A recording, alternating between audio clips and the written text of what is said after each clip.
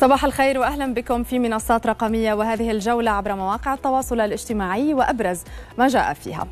منصة تويتر قد تبدأ بتصنيف التغريدات بناء على مدى خطأ المستخدمين وذلك في إطار مكافحتها لمنع انتشار المعلومات المضللة عبر منصتها.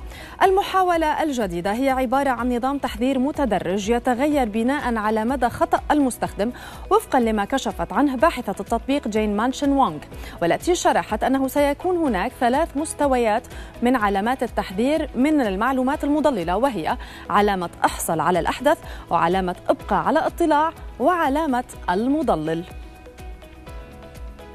إلى مشاهير عالم الفن ممثل مصري يفجر مفاجأة بتصوير فيلم مع أحد أهم نجوم هوليوود.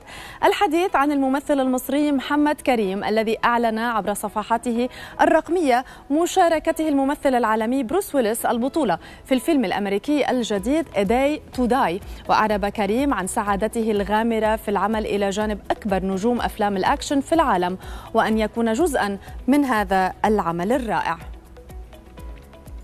طفل أمريكي يلفت الأنظار عبر مواقع التواصل الاجتماعي بشجاعته الملفتة.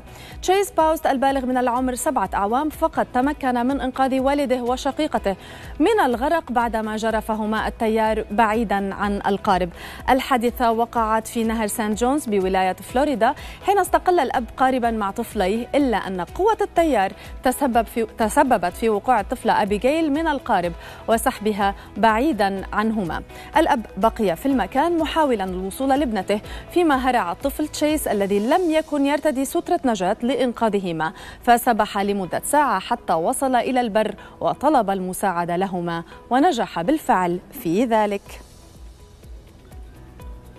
ضرب من الجنون في تحضير الطعام يثير الجدل عبر مواقع التواصل حيث تداول الرواد فيديو لشاب صيني في مقاطعة هونان وهو يستخدم عادم سيارته الرياضية الفاخرة من نوع لامبورغيني لشواء على ما يبدو أغلى سيخ لحم في العالم. وذلك بالضغط على دواسة البنزين للمركبة وهي في حالة وقوف. الأمر الذي أدى لاشتعال خزان تبريد المحرك بالنار وذلك بسبب الارتفاع الكبير في درجة الحرارة الناجم عن الضغط على الوقود دون حركة.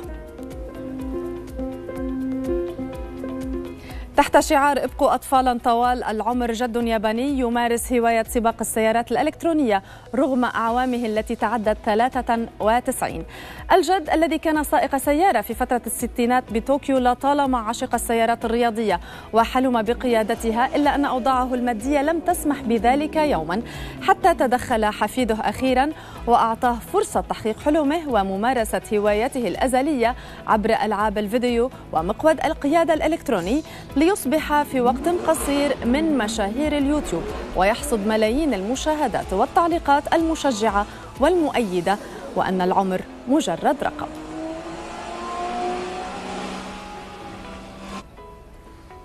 فيديو يخطف الأنفاس انتشر بكثرة على المنصات الرقمية بملايين المشاهدات لأنه بكل بساطة يظهر شابه تواجه دبا ضخما وتدفعه بيديها دون أي تردد.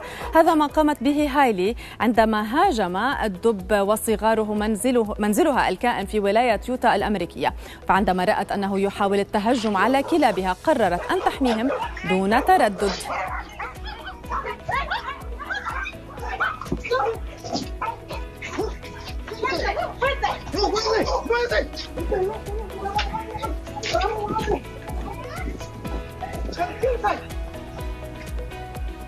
بهذا نكون قد وصلنا إلى ختام جولتنا على المنصات الرقمية لليوم. عودة من جديد إلى جرازييلا وأسامة.